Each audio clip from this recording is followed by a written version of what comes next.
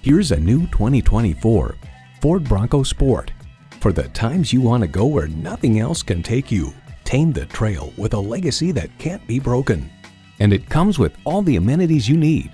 Intercooled turbo inline four-cylinder engine, voice-activated climate controls, streaming audio, configurable instrument gauges, heated sport bucket front seats, smart device remote engine start, AM FM satellite radio, active grille shutters, doors and push button start proximity key, and LED low and high beam headlights.